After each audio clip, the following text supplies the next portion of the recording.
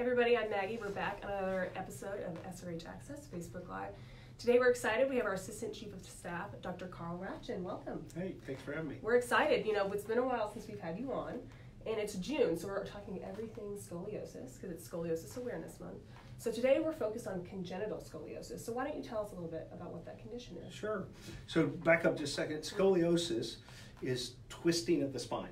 Um, and so you can see, and there's lots of things that cause it. Right. Um, and so here's an example of the, and you can see this is the normal spine, uh, where you have these little rectangles that are stacked on top of each other.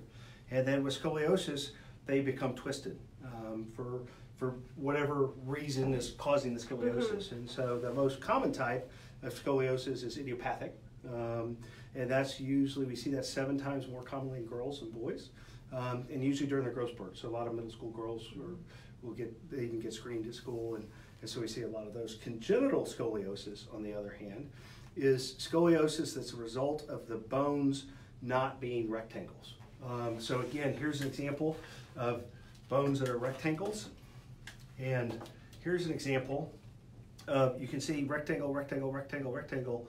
And then right here in the middle, there's some triangles and they're kind of stuck together. Right. So, so when the bones do not form normally, um, we call that congenital scoliosis. Mhm. And and some people think because it has that congenital name in it, it's like means that it was there at birth. Right. Um, and it was, but it's often not diagnosed until adolescence when they go through that adolescent Okay. growth spurt. So technically, when they're born, their spine could be totally normal or straight, as that matter, or Well, it would be, it may be very straight, but Mhm. the, the the crookedness of the bones Mhm. uh, is oftentimes not visible until they grow a little bit. Mhm. A lot of times um, during RSV season in the fall, when the Yeah. babies go to the emergency room for they get a chest X-ray, and it's kind of just noted on an incidental. We call it incidental finding on the chest X-ray because Right. they go, well, they got pneumonia, and also look at those those vertebral bodies are not rectangles, Mhm. and then that's how congenital scoliosis is diagnosed a lot of times. Wow. Okay. And so, I guess in terms of the causes that this, I mean, is there any?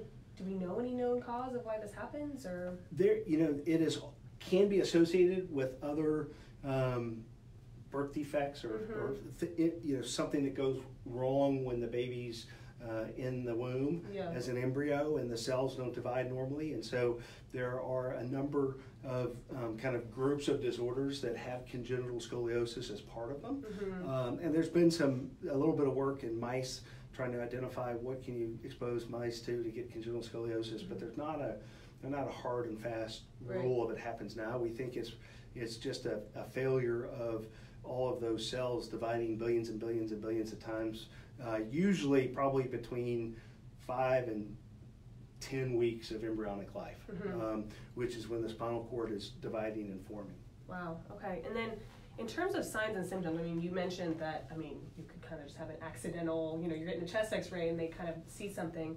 So, what are some of the sign of, signs and symptoms that, as a child's growing, a parent can look for? So all you know, and again on the, on the signs or symptoms, what the parents notice, Yeah. it's really just uh, unevenness of the back. Mhm. Um, and we, when we examine the patients, we actually look at them from behind with them bending over, Mhm. and what you see is one side is higher than the other. Right. And that is that twisting of the spine. So it's Mhm. not really bending; it's twisting. And so, and then a lot of times, if they're they're standing up, you may see that one shoulder is higher than the other, Okay. or may look like one leg is longer than Mhm. Um, and those are things usually, and it's usually noticed by the mother or the primary care physician at the well child check.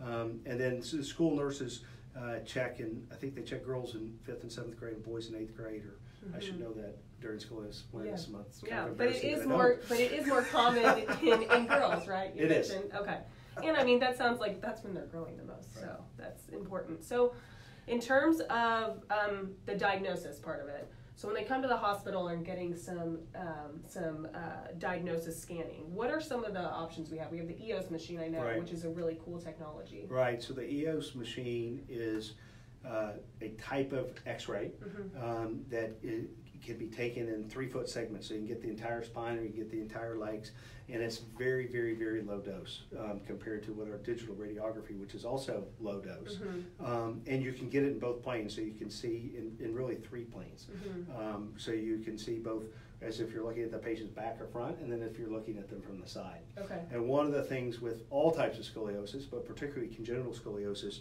we, we looking at that from the side is really Mhm. important.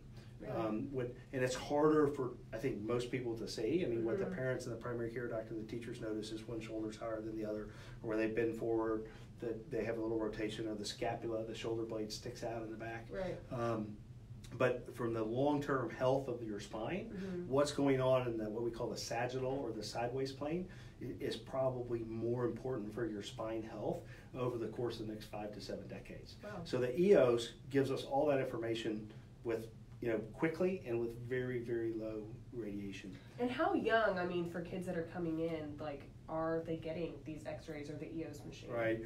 They have to be able to stand really still for EOS. So, Mhm. um, you know, over four for sure, and between two to four probably dep- depends on the patient. Okay. Um, and then the regular X-rays, like I said, with with congenital scoliosis, I bet you half of the patients are are diagnosed because they had an X-ray taken for something else. They're Right. constipated, and they do a KUB to look for Mhm. constipation, and they notice the the vertebral body's abnormal, or they they they're worried about pneumonia and they get a chest x-ray and they notice it so a, a lot many of our congenital scoliosis patients are really asymptomatic nobody Yeah. can see anything and those patients will usually come when they're growing fast we'll see them every four to six months Mhm. and then if they're not which is you know growth is a whole lot in the first two years and then it's pretty steady state until they get to the adolescent growth spurt Right. then it peaks up again and so when they're growing fast we're going to see them every six months Mhm. um, when they're not growing fast we may see them a little less frequently than that other you asked about imaging so at Mhm. some point uh, particularly those patients who are progressing um, who may need treatment Mhm. um, uh, with surgery uh, we may do ct scans and mri scans Right.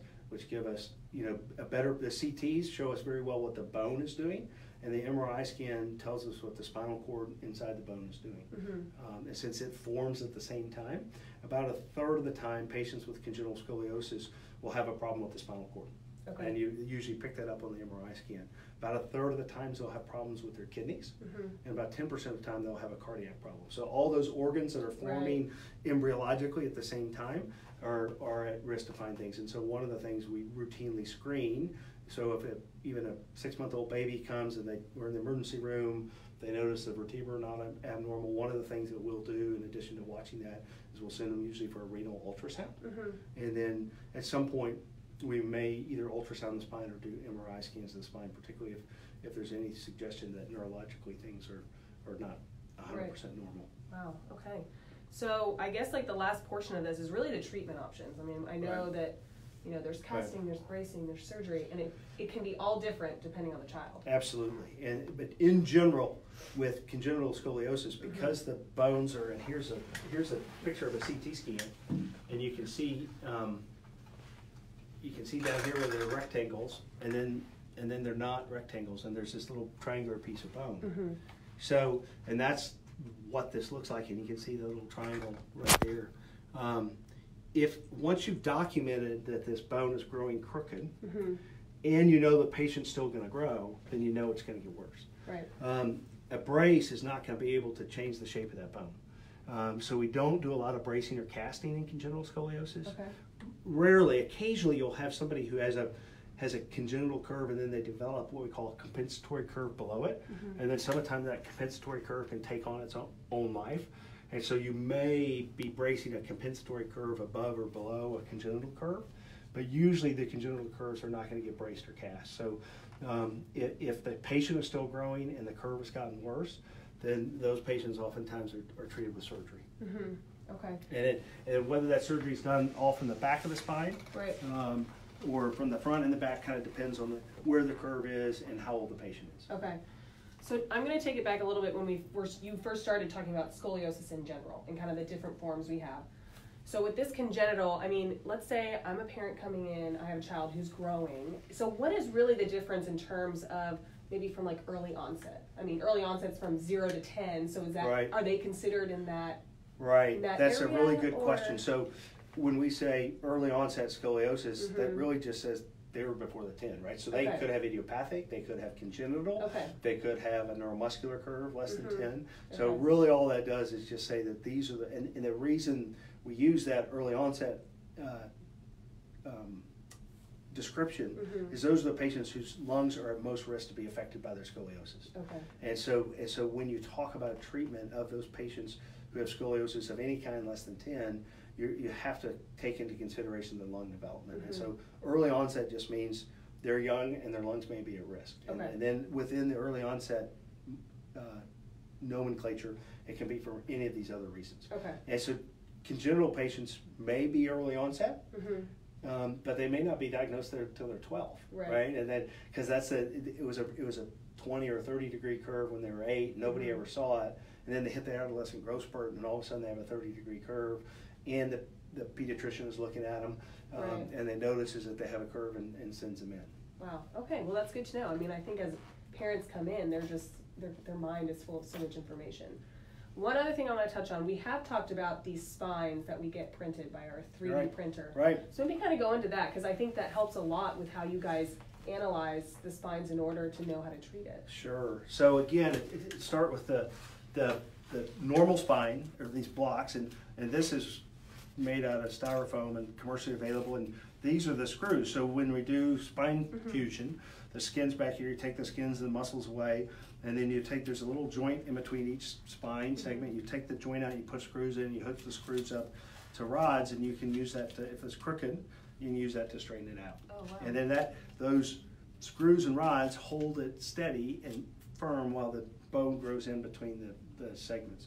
Um, so that's kind of the, what we normally do. And then for comp, if you have a complex deformity and you really want to understand exactly what is going on, you can take the CT scan and then they can plug the data from the CT scan into a 3D printer Mhm. and actually print a copy of the spine. And it's remarkable. And like we'll take these in the operating room Mhm. for a complex case and drop it into a sterile bag so we can actually look at it. You can see here, you know, some of the times because there's really a half one here and a half one there. Right. So you have to come up with nomenclature to say how are you going to, Mhm. let's all agree that this is three and this is six and this is eight and this is nine.